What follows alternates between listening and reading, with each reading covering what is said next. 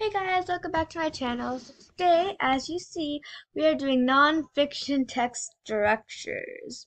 So I had a lot of ELA topics that I had to catch up on, so I'm so sorry if you want different topics. I have two science, I believe. I believe it's my fourth ELA and I have like four math. So I'm trying to keep them even, but science topics I don't have a lot in my head to make um videos about. Uh, so let's go right into this. So first uh, text structure we have is description.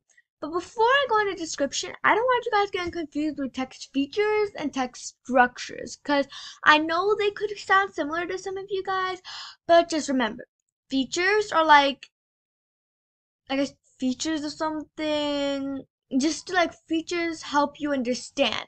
And text structure is the way a text is organized. So yeah, now let's go into description.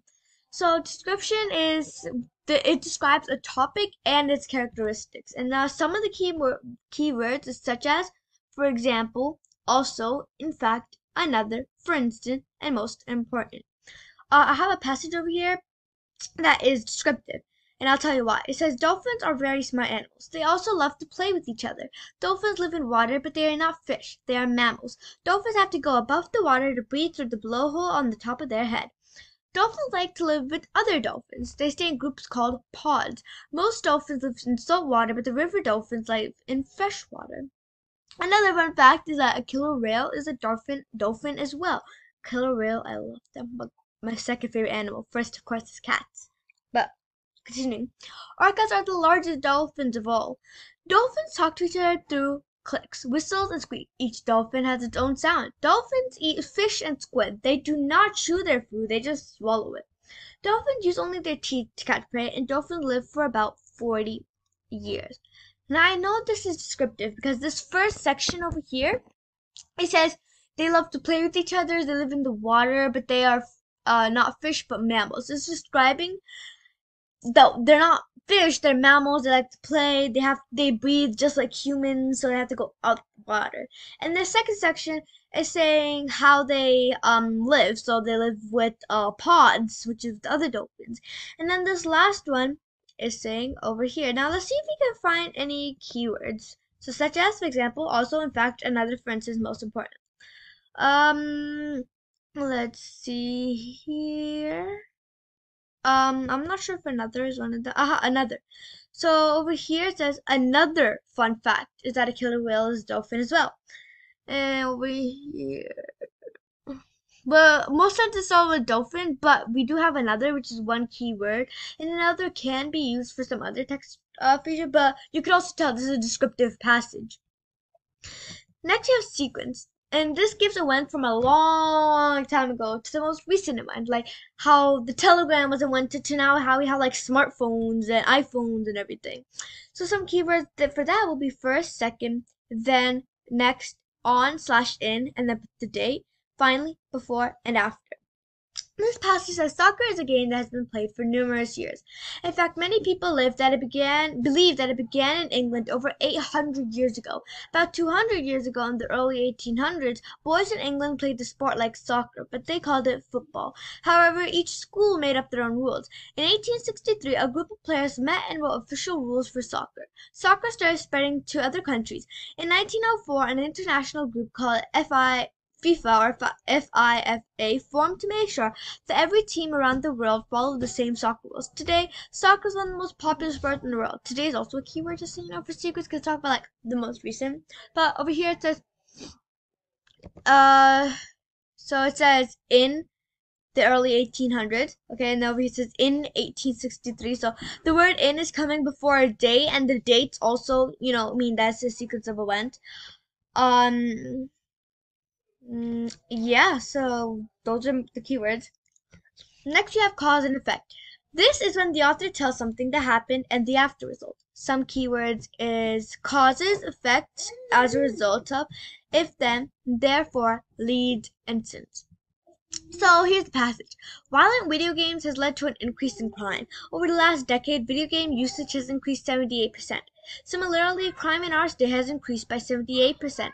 Many popular video games showcase crimes as part of their venue. Gamers are rewarded for committing crimes on screen. This may lead to this may lead them to become sensitized to crime in real life.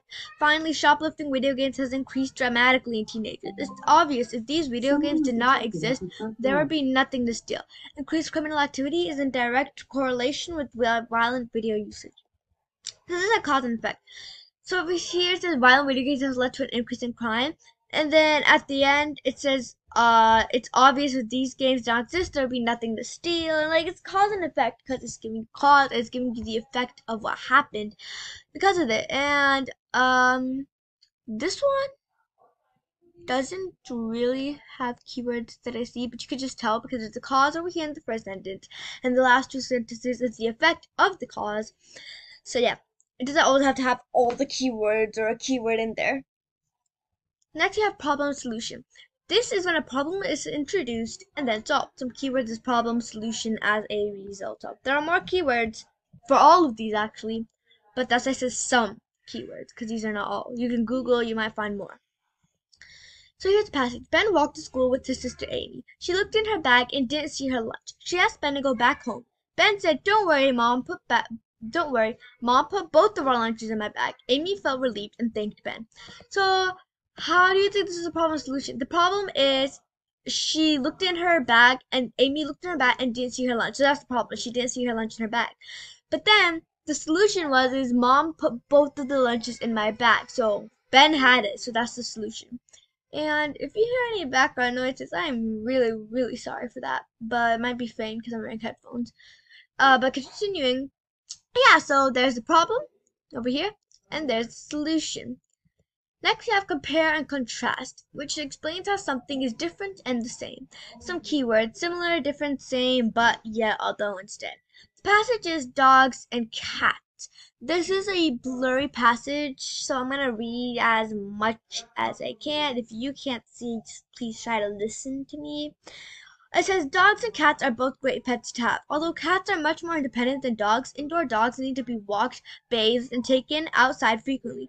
Indoor cats usually always stay inside. Dogs also tend to be louder than cats. They bark and are more um vocal.